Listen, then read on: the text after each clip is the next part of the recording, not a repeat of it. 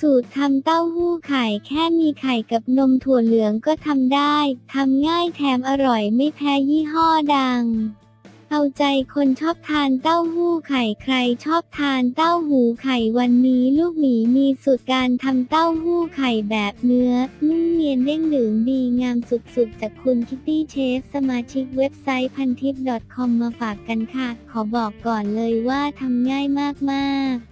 แค่คุณมีไข่กับนมถั่วเหลืองก็ทำได้แล้ว นอกจากนั้นเรื่องรสชาติก็ไม่แพ้ยี่ห้อดังเลยล่ะค่ะ มีวิธีทำอย่างไรบ้างนั้น ไปดูกันเลย วัตถุดิบๆที่ต้องเตรียมหนึ่ง ไข่ไก่สองนมถั่วเหลืองสามเกลือวิธีทำหนึ่ง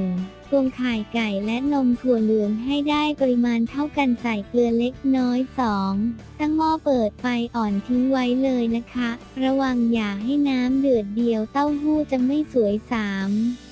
เททั้งสองอย่างรวมกันใช้ตะกร้อมือคนเบาๆ ไม่ให้เกิดฟองอากาศคนให้เข้ากันดีสี่ใช้ตะแกรงกรองสามรอบเพื่อให้ได้เนียนสวยห้าเทใส่ในพิมพ์ที่เตรียมไว้แล้วนำไปนึ่งหกนึ่งด้วยไฟอ่อน 25 นาทีเจ็ด